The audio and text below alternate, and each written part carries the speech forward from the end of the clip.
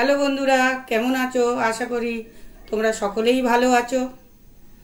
আজকের আমি দেখাবো তোমাদের ট্যাংরা মাছের ঝাল ঝোল। দেখো কেমন লাগে। ভালো যদি লাগে তোমাদের, তাহলে আমার চ্যানেলটিকে একটু সাবস্ক্রাইব করবে আর একটু শেয়ার করে দেবে। আর কমেন্ট করতে কিন্তু ভুলো না। এই হলো দেশি ট্যাংরা। দেখুন, এরকম সাইজ খুব একটা বড় না, ছোট সাইজের এগুলোকেই দেশি ট্যাংরা বলে। তিনশো গ্রাম আছে এখানে ট্যাংরা মাছ।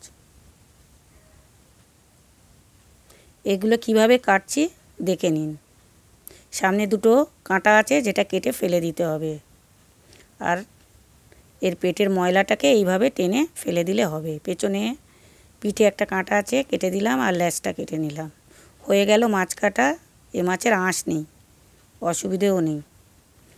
তিনশো মাছ কেটে ধুয়ে নিয়েছি আমি। এর সাথে কি কি লাগছে দেখে নিন এবারে ঝাল বানাতে।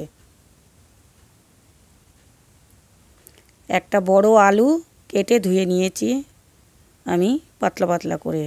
নুন, হলুদ তেল, লঙ্কার গুঁড়ো, ধনের গুঁড়ো, জিরের গুঁড়ো অ্যারারুট চারটে কাঁচা লঙ্কা, ফোড়নের জন্য পাঁচ ফোড়ন, চার কোয়া রসুন, দু টুকরো আদা আর দুটো পেঁয়াজ আর দুটো টমেটো। এই মাছটাকে আমি একটু হলুদ নুন মাখাচ্ছি এবারে। এই সামান্য পরিমাণ মতো নুন দিলাম, হাফ চামচ হলুদ দিলাম, আর একটু লঙ্কার গুঁড়ো। আর ছোট্ট চামচের দু চামচ অ্যারারুটের গুঁড়ো দিচ্ছি আমি। কেন, এটা হচ্ছে ট্যাংরা মাছ, কড়াতে দিলেই ফাটে। তো একটু ময়দা বা অ্যারারুট মাখিয়ে নেবে, নিলে ফাটবে না। আর মাছও গোটা গোটা হয়ে ভাজা হবে, একটুও ভাঙবে না। দেখুন।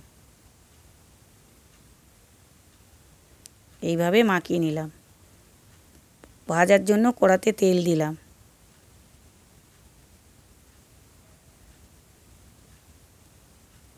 এবারে মাছগুলো ছেড়ে দিয়েছি আমি।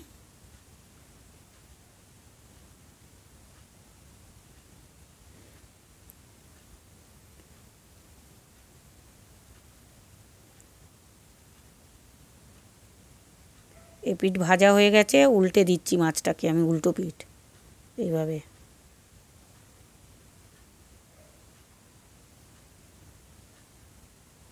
এইভাবে উল্টে ভেজে নেবেন দু পিঠ। বেশি কড়া করে ভাজার দরকার নেই, কেন ট্যাংরা মাছ? এই ভাজা হয়ে গেল মাছ আমার।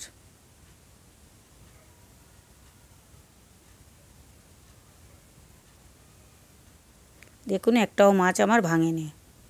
সব গোটা গোটা উঠেছে। ফোড়ন দিয়ে দিলাম, পাঁচ ফোড়ন, সামান্য একটু। আলুগুলো ছেড়ে দিচ্ছি।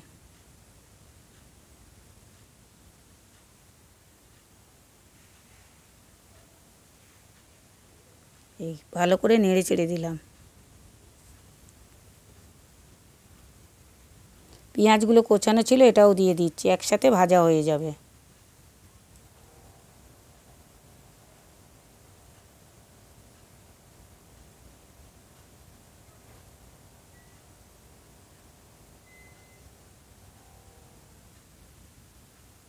দু তিন মিনিটের জন্য ঢেকে দিলাম।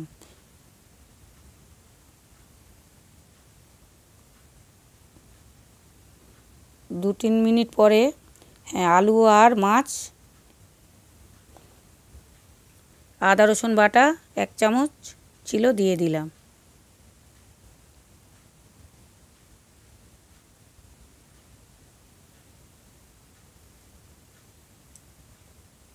ভাজা হয়ে গেছে। আলু আর পেঁয়াজ এই এক চামচ হলুদ গুঁড়ো।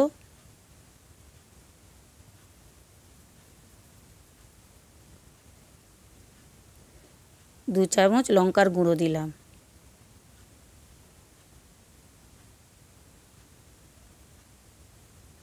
ঝালটা আপনাদের পরিমাণ মতো দেবেন, এক চামচ ধনের গুঁড়ো,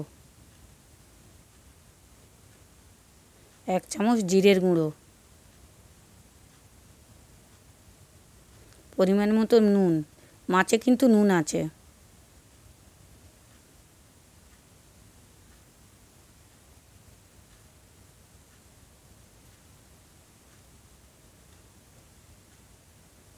টমেটো কোচাগুলো দিয়ে দিচ্ছি।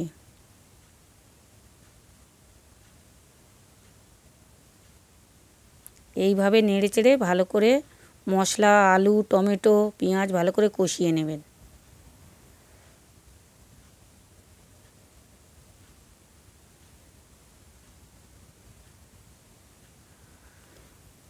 এই কাঁচের বাটির আমি দু বাটি জল দিয়ে দিলাম।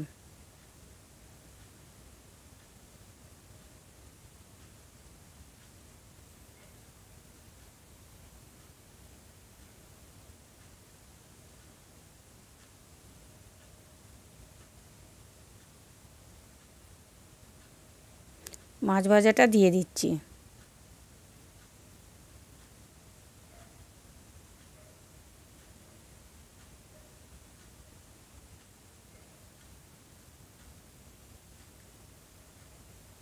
চার পাঁচ মিনিটের জন্য ঢেকে দিলাম।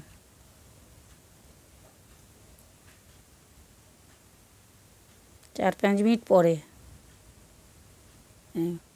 হয়ে গেছে। আলুও সেদ্ধ হয়ে গেছে পুরো।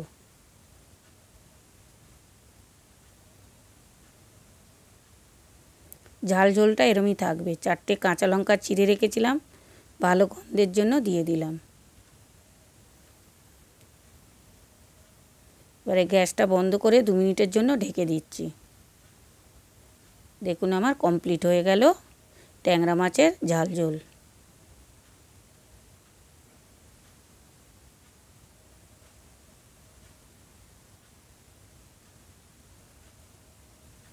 এই রেডি আমার ট্যাংরা মাছের ঝাল ঝোল।